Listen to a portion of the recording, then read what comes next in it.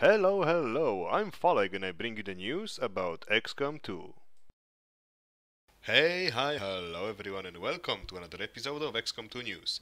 Today a new article has been released on the XCOM site. Uh, it is describing the new unit, uh, the Shield Bearer. It's a very short article.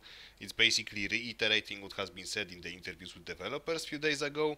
But now I can actually talk about it. So yeah, this uh, unit is going to be uh, wearing a heavy armor, so I'm betting that uh, he is going to have a lot of hit points and he will have the special role on the battlefield. He's going to be protecting other uh, units uh, nearby, making it uh, a difficult choice.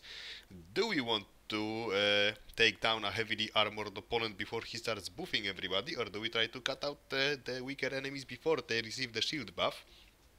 Which is an AoE buff, kinda like the uh, distortion field in XCOM, but on a bigger radius judging by the videos that uh, we have seen, and uh, that uh, basically is a whole new level of tactics that the Advents are going to be using against us. And uh, the, even the article itself is saying that uh, you will want to prioritize this unit. And I'm slowly starting to think, uh, with each new unit that gets released, uh, that uh, we will really have uh, a very interesting choice in XCOM 2.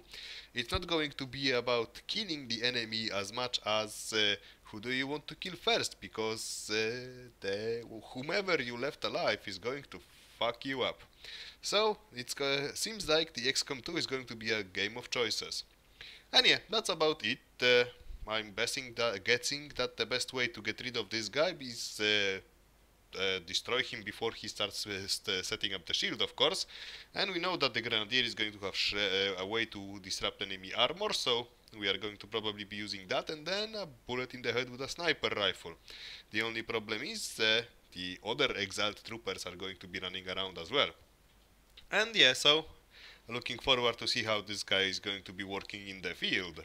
And uh, what do you think about the Advent Shield Bearer? Let me know in the comments if you wanna, and I'm looking forward to hear your opinions about uh, this unit in general.